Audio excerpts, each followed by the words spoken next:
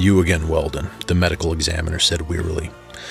I nodded pleasantly and looked around the shabby room with a feeling of hopeful eagerness. Maybe this time, I thought, I'd get the answer. I had the same sensation I always had in these places the quavery, senile despair at being closed in a room with a single shaky chair, tottering bureau, dim bulb hanging from the ceiling, the flaking metal bed. There was a woman on the bed, an old woman, with white hair thin enough to show the tight drawn scalp, her face and body so emaciated that the flesh between the bones formed parchment pockets.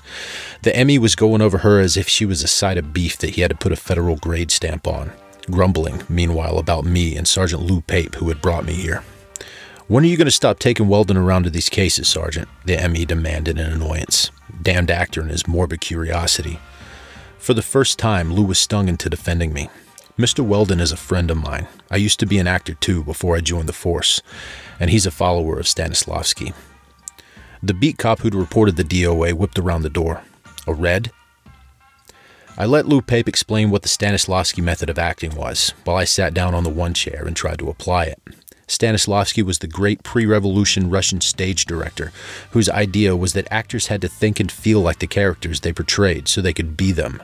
A Stanislavskian works out everything about a character, right up to the point where the play starts, where he was born, when, his relationship with his parents, education, childhood, adolescence, maturity, attitude towards men, women, sex, money, success, including incidents.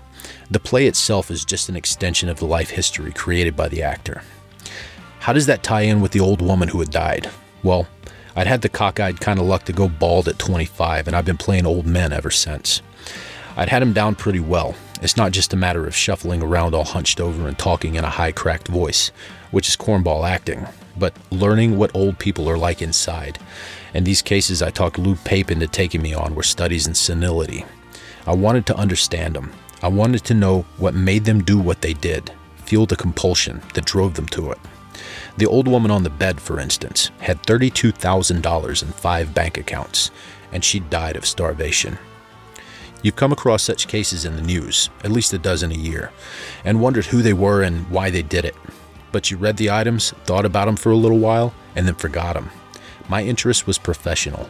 I made my living playing old people, and I had to know as much about them as I could. That's how it started off at any rate. But the more cases I investigated, the less sense they made to me, until finally they were practically an obsession. Look, they almost always had around $30,000 pinned to their underwear, hidden in mattresses or parked in the bank, yet they starved themselves to death. If I could understand them, I could write a play or have one written. I might really make a name for myself, even get a Hollywood contract. Maybe, if I could act them out as they should be acted. So I sat there in the lone chair trying to reconstruct the character of the old woman who had died rather than spend a single cent of her $32,000 for food.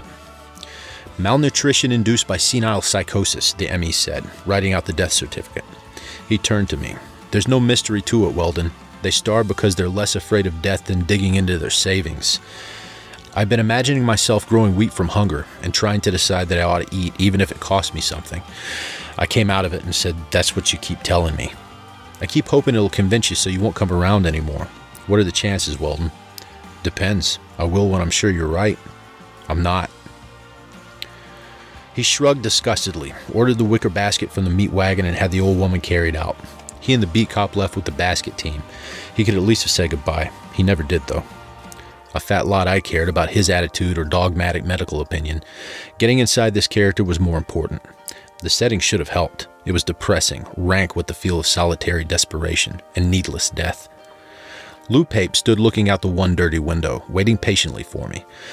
I let my joints stiffen as if they were 30 years older and more worn out than they were, and empathized myself into a dilemma between getting still weaker from hunger and drawing a little money out of the bank. I worked at it for half an hour or so with the deep concentration you acquire when you use the Stanislavski method. Then I gave up. The ME's wrong, Lou, I said. It doesn't feel right. Lou turned around from the window. He stood there all that time without once coughing or scratching or doing anything else that might have distracted me. He knows his business, Mark. But he doesn't know old people. What is it you don't get? He prompted, helping me dig my way through a characterization like the trained Stanislavskian he was, and still would have been if he hadn't gotten so sick of the insecurity of acting that he'd become a cop. Can't money be more important to a psychotic than eating? Sure, I agreed. Up to a point. Undereating, yes. Actual starvation? No. Why not? You and the ME think it's easy to starve to death. It isn't. Not when you can buy day old bread at the bakery, soup bones for about a nickel a pound, wilted vegetables that groceries are glad to get rid of. Anybody who's willing to eat that stuff can stay alive on nearly nothing a day. Nearly nothing, Lou. And hunger is a damned potent instinct. I can understand hating to spend even those few cents. I can't see going without food altogether. He took out a cigarette. He hadn't until then because he didn't want to interrupt my concentration. Maybe they get too weak to go out after old bread and meat and bones and wilted vegetables. It doesn't figure. I got up off the shaky chair. My joint's now really stiff from sitting in it. You know how long it takes to die of starvation? That depends on age, health, amount of activity. Nuts, I said. It would take weeks. So it takes weeks. Where's the problem, if there is one? I lit the pipe I'd learned to smoke instead of cigarettes. Old men seem to use pipes more than anything else, though maybe it'll be different in the next generation. More cigarette smokers now, you see, and they stick to the habit unless the doctors order them to cut it out. Did you ever try starving for weeks, Lou? I asked. No, did you? In a way. All these cases you've been taking me on for the last couple of years, I've tried to be them. But let's say it's possible to die of starvation when you have thousands of dollars put away. Let's say you don't think of scrounging off food stores or working out a way of freeloading or hitting up soup lines. Let's say you stay in your room and slowly starve to death.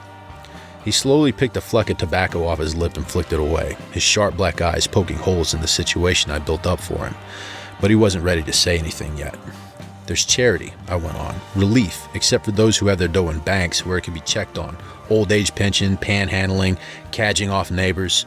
He said, We know these cases are hermits. They don't make contact with anybody even when they're starting to get real hungry?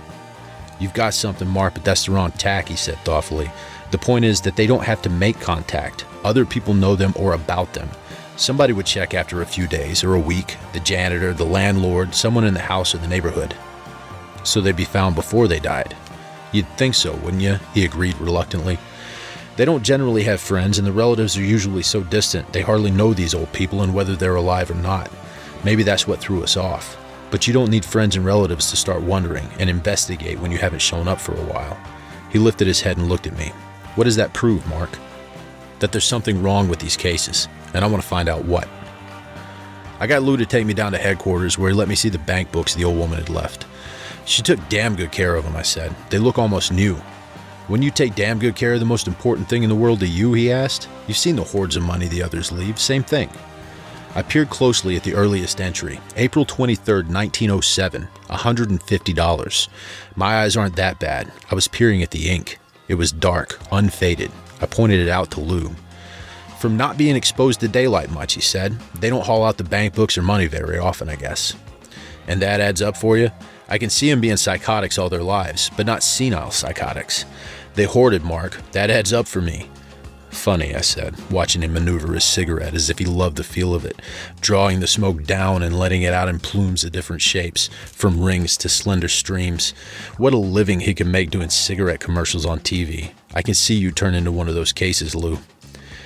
He looked startled for a second, but then he crushed out the butt carefully so he could watch it instead of me. Yeah, how so? You've been too scared by poverty to take a chance. You know you could do all right acting, but you don't dare give up this crummy job. Carry that far enough and you try to stop spending money, then cut out eating, and finally wind up dead of starvation in a cheap room. Me? I'd never get that scared of being broke. At the age of 70 or 80? Especially then. I'd probably tear loose for a while and then buy into a home for the aged. I wanted to grin, but I didn't. He'd proved my point. He'd also shown that he was as bothered by these old people as I was. Tell me, Lou, if somebody kept you from dying, would you give him any dough for it, even if you were a senile psychotic? I could see him using the Stanislavski method to feel his way to the answer. He shook his head. Not while I was alive. Will it, maybe? Not give it. How would that be as a motive? He leaned against the metal filing cabinet. No good, Mark. You know what a hell of a time we have tracking down relatives to give the money to, because these people don't leave wills. The few relatives we have are always surprised when they get their inheritance. Most of them hardly remember dear old whoever it was that died and left it to them.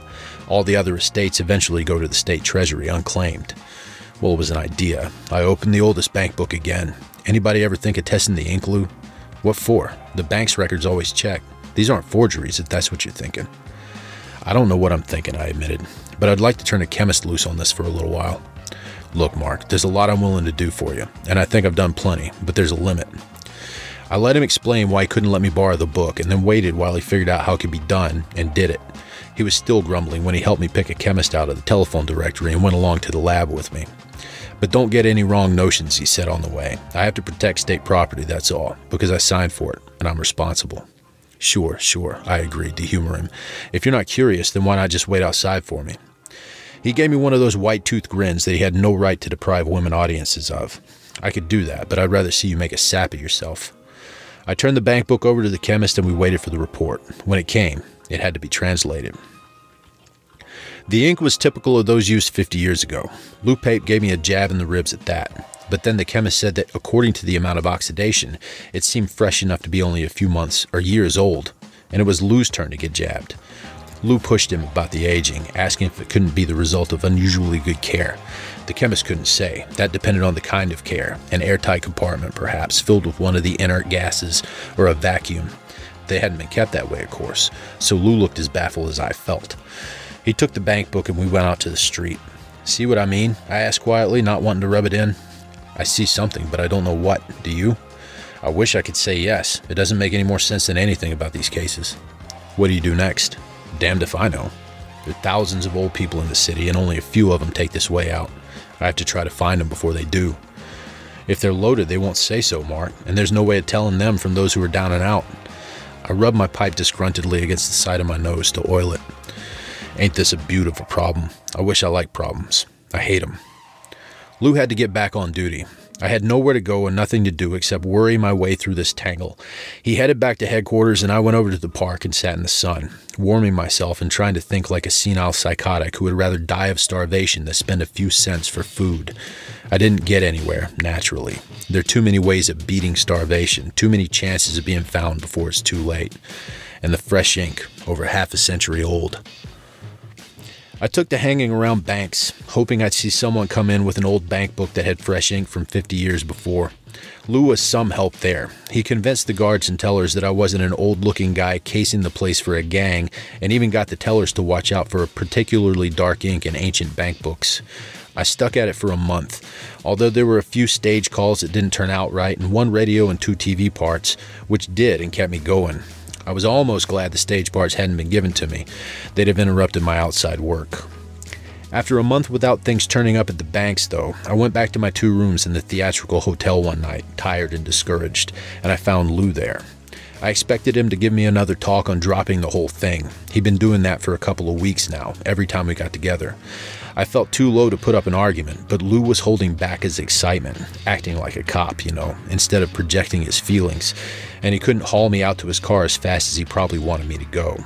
Been trying to get in touch with you all day, Mark. Some old guy was found wandering around, dazed and suffering from malnutrition, with $17,000 cash inside the lining of his jacket. Alive? I asked, shocked right into eagerness again. Just barely. They're trying intravenous feeding to pull him through. I don't think he'll make it. For God's sake, let's get there before he conks out. Lou raced me to the city hospital and up to the ward. There was a scrawny old man in bed, nothing but a papery skin stretched thin over a face like a skull and a body like a Halloween skeleton, shivering as if he was cold. I knew it wasn't the cold. The medics were injecting a heart stimulant into him, and he was vibrating like a rattletrap car racing over a gravel road. Who are you? I practically yelled, grabbing his skinny arm. What happened to you? He went on shaking with his eyes closed and his mouth open. Ah, hell, I said, disgusted. He's in a coma. He might start talking, Lou told me. I fixed it up so you can sit here and listen in case he does. So I can listen to delirious ravings, you mean? Lou got me a chair and put it next to the bed. What are you kicking about? This is the first live one you've seen, isn't it? That ought to be good enough for you. He looked as annoyed as a director. Besides, you can get biographical data out of delirium that you'd never get if he was conscious. He was right, of course. Not only data, but attitudes, wishes, resentments that would normally be repressed. I wasn't thinking of acting at the moment, though. Here was somebody who could tell me what I wanted to know, only he couldn't talk. Lou went to the door. Good luck, he said, and went out. I sat down and stared at the old man, willing him to talk. I don't have to ask if you've ever done that. Everybody has. You keep thinking over and over, getting more and more tense. Talk, damn you, talk, until you find that every muscle in your body is a fist and your jaws are aching because you've been clenching your teeth so hard. You might just as well not bother, but once in a while, a coincidence makes you think you've done it. Like now. The old man sort of came to. That is, he opened his eyes and looked around without seeing anything, or it was so far away and long ago that nobody else could see what he saw. I hunched forward on the chair and willed harder than ever. Nothing happened. He stared at the ceiling and through and beyond me. Then he closed his eyes again, and I slumped back, defeated and bitter. But that was when he began talking. There were a couple of women, though they might have been little girls in his childhood, and he had his troubles with them. He was praying for a toy train, a roadster to pass his tests, to keep from being fired, to be less lonely, and back to toys again. He hated his father, and his mother was too busy with church bazaars and such to pay much attention to him. There was a sister. She died when he was a kid. He was glad she died, hoping maybe now his mother would notice him, but he was also filled with guilt because he was glad. Then somebody, he felt, was trying to shove him out of his job. The intravenous feeding kept dripping into his vein, and he went on rambling. After 10 or 15 minutes of it, he fell asleep. I felt so disappointed that I could have slapped him awake, only it wouldn't have done any good. Smoking would have helped me relax, but it wasn't allowed, and I didn't dare go outside for one for fear he might revive again, and this time come up to the present. Broke, he suddenly shrieked, trying to sit up. I pushed him down gently, and he went on in frightful terror. Old and poor, nowhere to go, nobody wants me, can't make a living, read the ads every day, no jobs for old men. He blurted through weeks, months, years, I don't know, of fear and despair, and finally he came to something that made his face glow like a radium dial. An ad. No experience needed, good salary. His face got dark and awful. All he added was El Greco, or something that sounded like it, and then he went into terminal breathing. I rang for the nurse and she went for the doctor. I couldn't stand the long moments when the old man's chest stopped moving, the abrupt, frantic gulps of air followed by no breath at all. I wanted to get away from it, but I had to wait for whatever more he might say. It didn't come. His eyes fogged and rolled up, and he stopped taking those spasmodic, strangling breaths. The nurse came back with the doctor, who felt his pulse and shook his head. She pulled the blanket over the old man's face. I left, feeling sick. I'd learned things I already knew about hate and love and fear and hope and frustration. There was an ad in it somewhere, but I had no way of telling if it had been years ago or recently, and a name that sounded like El Greco. That was a Spanish painter of four or five hundred years ago. Had the old guy been remembering a picture he'd seen? No. He'd come up at least close to the present. The ad seemed to solve his problem about being broke, but what about the $17,000 that had been found in the lining of his jacket? He hadn't mentioned that. Of course, being a senile psychotic, he could have considered himself broke even with that amount of money. None coming in, you see. That didn't add up either. His was the terror of being old and jobless. If he'd had money, he would have figured out how to make it last, and that would have come through in one way or another. There was the ad, there was his hope, and there was this El Greco, a Greek restaurant maybe, where he might have been bumming his meals. But where did the $17,000 fit in? Lou Pape was too fed up with the whole thing to discuss it with me. He just gave me the weary eye and said, You're riding this too hard, Mark. The guy was talking from fever. How do I know what figures and what doesn't when I'm dealing with insanity or delirium? But you admit there's plenty about these cases that doesn't figure. Sure. Did you take a look at the condition the world is in lately? Why should these old people be any exception? I couldn't blame him. He pulled me in on the cases with plenty of trouble to himself, just to do me a favor, and now he was fed up. I guess it wasn't even that. He thought I was ruining myself, at least financially, and maybe worse, by trying to run down the problem. He said he'd be glad to see me any time and gas about anything or help me with whatever might be bothering me, if he could, but not these cases anymore. He told me to lay off him, and then he left me on my own. I don't know what he could have done, actually. I didn't need him to go through the want ads with me, which I was doing every day, figuring there might be something in the ravings about an ad.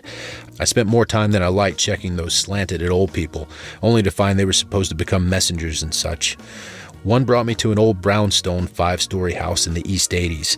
I got online with the rest of the applicants. There were men and women, all decrepit, all looking badly in need of money, and waited my turn. My face was lined with collodion wrinkles, and I wore an antique shiny suit and rundown shoes. I didn't look more prosperous or any younger than they did. I finally came up to the woman who was doing the interviewing. She sat behind a plain office desk down in the main floor hall, with a pile of application cards in front of her and a ballpoint pen in one strong, slender hand. She had red hair with gold lights in it, and eyes so pale blue they would have seemed the same color as the whites if she'd been on the stage. Her face would have been beautiful except for her rigid control of expression. She smiled abruptly, shut it off just like that, looked me over with all the impersonality and penetration of an x-ray from the soles to the bald head, exactly as she'd done with the others. But that skin, if it was as perfect as that all over her slim, stiffly erect, proudly shaped body, she had no business off the stage. Name, address, previous occupation, social security number, she asked in a voice with good clarity, resonance, and diction. She wrote it all down while I gave the information to her. Then she asked me for references, and I mentioned Sergeant Lou Pape. Fine, she said. We'll get in touch with you if anything comes up. Don't call us, we'll call you. I hung around to see who'd be picked. There was only one, an old man, two ahead of me in the line, who had no social security number, no references, not even any relatives or friends she could have checked up on him with. Damn, of course, that's what she wanted. Hadn't all the starvation cases been people without social security references, either no friends and relatives or those they lost track of? I'd pulled a blooper, but how was I to know until too late? Well, there was a way of making it right. When it was good and dark that evening, I stood on the corner and watched the lights in the brownstone house. The ones on the first two floors went out, leaving only those on the third and fourth, closed for the day, or open for business. I got into a building a few doors down by pushing a button and waiting until the buzzer answered, then racing up to the roof while some man yelled down the stairs to find out who was there. I crossed the tops of two houses between and went down the fire escape. It wasn't easy, though not as tough as you might imagine. The fact is that I'm a whole year younger than Lou Pape, even if I could play as grandpa professionally. I still have muscles left, and I used them to get down the fire escape at the rear of the house. The fourth floor room I looked into had some kind of wire mesh cage and some hooded machinery. Nobody there. The third floor room was the redhead's. She was coming out of the bathroom with a terry cloth bathrobe and a towel turban on when I looked in. She slid the robe off and began dusting herself with powder. That skin did cover her. She turned to move toward a vanity against the wall that I was on the other side of. The next thing I knew, the window was flung up and she had a gun on me. Come right in. Mr. Weldon, isn't it? she said in that completely controlled voice of hers. One day her control would crack, I thought irrelevantly, and the pieces would be found from Dallas to North Carolina. I had an idea you seemed more curious than was justified by a help wanted ad. A man my age doesn't get to see many pretty girls, I told her, making my own voice crack pathetically in a senile whinny. She motioned me into the room. When I was inside, I saw a light over the window blinking red. It stopped the moment I was in the room, a silent burglar alarm. She let her pale blue eyes wash insolently over me. A man your age can see all the pretty girls he wants to. You're not old. And you use a rinse, I retorted. She ignored it. I specifically advertised for old people. Why did you apply? It had happened so abruptly that I hadn't had a chance to use the Stanislavski method to feel old in the presence of a beautiful nude woman. I don't even know if it would have worked. Nothing's perfect. I needed a job awful bad, I answered sullenly, knowing it sounded like an ad lib. She smiled with more contempt than humor. You had a job, Mr. Weldon. You were very busy trying to find out why senile psychotics starved themselves to death. How did you know that? I asked, startled. A little investigation of my own. I also happen to know you didn't tell your friend Sergeant Pape that you were going to be here tonight. That was a fact, too. I hadn't felt sure enough that I'd found the answer to call him about it. Looking at the gun in her steady hand, I was sorry I hadn't. But she did find out I own this building, that my name is May Roberts, and that I'm the daughter of the late Dr. Anthony Roberts, the physicist, she continued. Is there anything else you want me to tell you about yourself? I know enough already. I'm more interested in you and the starvation cases. If you weren't connected with them, you wouldn't have known I was investigating them. That's obvious, isn't it? She reached for a cigarette on the vanity and used the lighter with a free hand. The big mirror gave me another view of her lovely body, but that was beginning to interest me less than the gun. I thought of making a grab for it. There was too much distance between us, though, and she knew better than to take her eyes off me while she was lighting up. I'm not afraid of professional detectives, Mr. Weldon. They deal only with facts, and every one of them will draw the same conclusions from a given set of circumstances. I don't like amateurs. They guess too much. They don't stick to reality. The result, her pale eyes chilled and her shapely mouth went hard, is that they're likely to get too close to the truth. I wanted to smoke myself, but I wasn't willing to make a move toward the pipe in my jacket. I may be close to the truth, Miss Roberts, but I don't know what the devil it is. I still don't know how you're tied with the senile psychotics or why they starve with all that money. You could let me go and I wouldn't have a thing on you. She glanced down at herself and laughed for real for the first time. You wouldn't, would you? On the other hand, you know where I'm working from and can nag Sergeant Pape into getting a search warrant. It wouldn't incriminate me, but it would be inconvenient. I don't care to be inconvenienced. Which means what? You want to find out my connection with senile psychotics. I intend to show you. How? She gestured dangerously with the gun. Turn your face to the wall and stay that way while I get dressed. Make one attempt to turn around before I tell you to, and I'll shoot you. You're guilty of housebreaking, you know. It would be a little inconvenient for me to have an investigation, but not as inconvenient as for you. I faced the wall, feeling my stomach braid itself into a tight, painful knot of fear. Of what I didn't know yet, only that old people who had something to do with her died of starvation. I wasn't old, but that didn't seem very comforting. She was the most frigid, calculating, deadly woman I'd ever met. That alone was enough to scare the hell out of me, and there was the problem of what she was capable of. Hearing the sounds of her dressing behind me, I wanted to lunge around and rush her, taking chances that she might have been too busy pulling on a girdle or reaching back to fasten a bra to have the gun in her hand. It was a suicidal impulse and I gave it up instantly. Other women might compulsively finish concealing themselves before snatching up the gun. Not her. All right, she said at last. I faced her. She was wearing coveralls that, if anything, emphasized the curves of her figure. She had a sort of babushka that covered her red hair and kept it in place, the kind of thing women workers used to wear in factories during the war. She had looked lethal with nothing on but a gun and a hard expression. She looked like a sentence of execution now. Open that door, turn to the right, and go upstairs, she told me, indicating directions with the gun. I went. It was the longest and most anxious short walk I've ever taken. She ordered me to open the door on the fourth floor, and we were inside the room I'd seen from the fire escape. The mesh cage seemed like a torture chamber to me, the hooded motors designed to shoot an agonizing current through my emaciating body. You gonna do to me what you did to the old man you hired today? I probed, hoping for an answer that would really answer. She flipped on the switch that started the motors, and there was a shrill, menacing whine. The wire mesh of the cage began blurring oddly, as if vibrating like the tines of a tuning fork. You've been an unexpected nuisance, Weldon, she said above the motors. I never thought you'd get this far, but as long as you have, we might as well both benefit by it. Benefit, I repeated. Both of us? She opened the drawer of the work table and pulled out a stack of envelopes held with a rubber band. She put the stack at the other edge of the table. Would you rather have all cash, bank accounts, or both? My heart began to beat. She was where the money came from.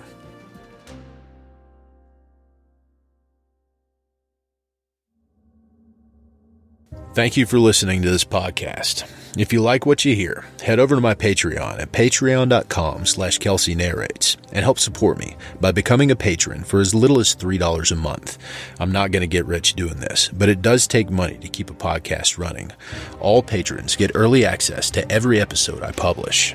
This ebook is for the use of anyone anywhere at no cost and with almost no restrictions whatsoever. You may copy it, give it away, or reuse it under the terms of the Project Gutenberg license, available at gutenberg.org.